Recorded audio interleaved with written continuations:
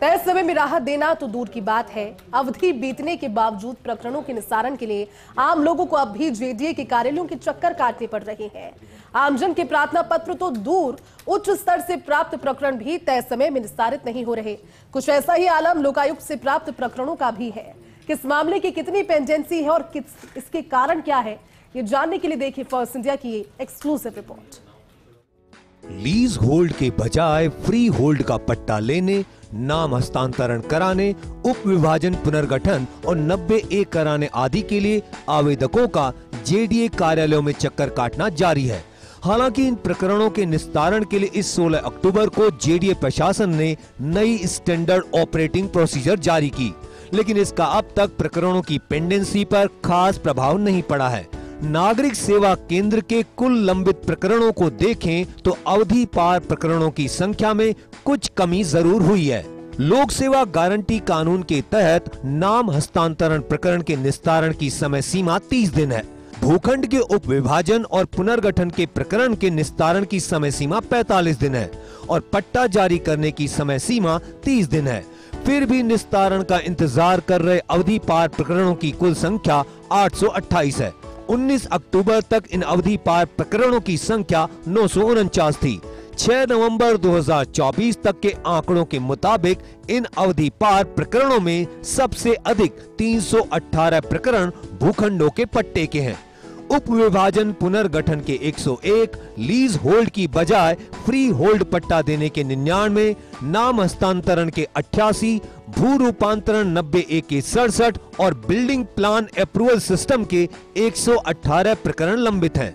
अवधि पार प्रकरणों में सबसे अधिक 133 प्रकरण जोन नौ में लंबित हैं। इनमें से भी लीज होल्ड के बजाय फ्री होल्ड पट्टे के भी सबसे अधिक अवधि पार प्रकरण जोन नौ में ही लंबित हैं।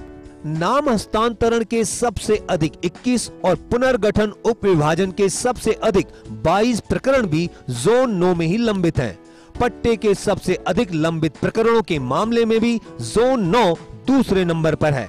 जोन नौ में 40 प्रकरण लंबित हैं, जबकि उपायुक्त के पास किसी दूसरे जोन का कोई अतिरिक्त कार्यभार नहीं है। पट्टे जारी करने में सबसे फिसड्डी जोन पृथ्वीराज नगर दक्षिण प्रथम है। जिसमें उनचास प्रकरण लंबित हैं। नब्बे ए के सबसे अधिक 16 प्रकरण जोन 12 में लंबित हैं। नब्बे ए के सबसे अधिक लंबित प्रकरणों के मामले में दूसरे नंबर पर जोन 14 है इस जोन में 12 प्रकरण लंबित हैं। नाम हस्तांतरण के सबसे अधिक लंबित प्रकरणों के मामले में दूसरे नंबर पर जोन 11 है इस जोन में 11 प्रकरण लंबित हैं। उप विभाजन पुनर्गठन के दूसरे सबसे अधिक 15 प्रकरण पृथ्वीराज नगर दक्षिण द्वितीय जोन के हैं। आम जन से जुड़े प्रकरणों का निर्धारित अवधि बीतने के बावजूद निस्तारण नहीं हो रहा है। कमोबेश यही हाल राजस्थान संपर्क पोर्टल, उच्च स्तर से प्राप्त प्रकरण और लोकायुक्त से जुड़े प्रकरणों का है। जेडीए में मुख्यमंत्री कार्यालय, मुख्य सचिव कार्यालय, नगरीय विकास मंत्री कार्यालय आदि से किसी प्रकरण में कार्यवाही के लिए जो पत्र आते हैं, उन पत्रों पर की गई कार्यवाही की मॉनिटरिंग के लिए जेडीए ने डॉक्यूमेंट ट्रैकिंग सिस्टम बना रखा है। इस डीटीएस में अधिकतर प्रकरण आम जन से जुड़े ही होते हैं।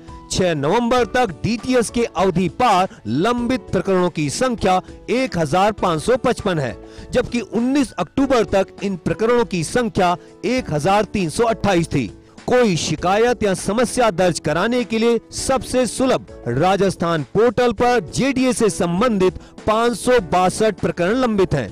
इनमें से 42 प्रकरण तो दो महीने से लेकर छह महीने से लंबित चल रहे हैं इसी तरह लोकायुक्त से प्राप्त प्रकरणों में निर्धारित अवधि में जेडीए को लोकायुक्त को जवाब भेजना होता है। 6 नवंबर तक जेडीए में लोकायुक्त से संबंधित 60 प्रकरण ऐसे लंबित हैं, जिनमें जवाब देने की तय अवधि निकल चुकी है।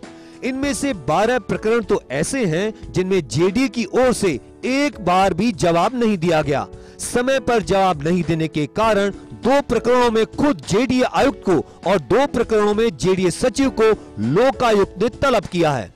आम लोगों से जुड़े प्रकरणों का समय पर निस्तारित नहीं होना हो या डॉक्यूमेंट ट्रैकिंग सिस्टम से जुड़े मामले या फिर लोकायुक्त सचिवालय के मामलों में समय पर जवाब नहीं भेजा गया हो, इन सब के पीछे एक बड़ा कारण जेडीए में अधिकारी कर्मचारियों की कमी है और जिम्मेदारों के खिलाफ सख्त कार्रवाई नहीं होना भी है। इन्हीं के चलते जेडीए में प्रकरणों का निस्तारण समय पर नहीं हो पा रहा है। जेडीए में लगे अधिकतर जोन उपायुक्तों के पास दो या तीन जोन का कार्यभार है। जोन छह, पृथ्वीराज नगर उत्तर प्रथम और पृथ्वीराज नगर उत्तर द्वितीय, इन तीनों जोन का कार्यभार एक ही उपायुक्त के जिम्मे है। जोन एक और जोन चार का कार्यभार एक उपायुक्त के पास है। इसी तरह जोन दो और दस, जोन तीन और तेरह, जोन पाँच और बारह, जोन सात और आठ, पृथ्वीराज नगर दक्षिण प्रथम और द्वितीय जोन का कार्यभार एक एक उपायुक्त के जिम्मे है। जेडीए में स्वीकृत पदों में से करीब एक तिहाई पदों पर ही कार्मिक काम कर रहे हैं। कनिष्ठ लेखाकार के पंद्रह पद, विधि सहायक के दस पद, कनिष्ठ सहायक के पिचहत्तर और स्टेनो के दस पदों पर भर्ती की कवायद अब तक अधूरी है। हालाँकि भर्ती के लिए जेडीए के भर्ती नियमों में संशोधन की अधिसूचना जल्द जारी होने वाली है। नियमों में संशोधन के बाद जेडीए दोबारा कर्मचारी चयन बोर्ड को प्रस्ताव भेजेगा। स्टाफ की कमी के अलावा पेंडेंसी का एक और कारण लापरवाह कार्मिकों के खिलाफ सख्त कार्रवाई नहीं होना है। फाइलों पर अव्यवहारिक टिप्पणी और जानबूझकर फ़ाइल को अटकाने वाली टिप्पणी करने वालों के खिलाफ सख्त कार्रवाई की ज़रूरत है। इसके अलावा, जेडीए में लगाए ऐसे जोन उपायुक्त भी हैं जिन्हें नगरीय विकास से संबंधित कार्य का अनुभव नहीं है। इसके लिए ज़रूरी है कि जोन उपायुक्तों के लिए आमुखीकरण कार्यशाला का नियमित आयोजन किया जाए। जेडीए में आम जन से जुड़े प्रकरणों की पेंडेंसी के कई कारण हैं। ज़रूरी यह है कि इन कारणों का हल खोजा जाए तभी आम जन को तय अवधि में राहत दी जा सकेगी। कैमरा पर्सन तीरथ के साथ Abhishek Srivastava, first India news, Jaipur.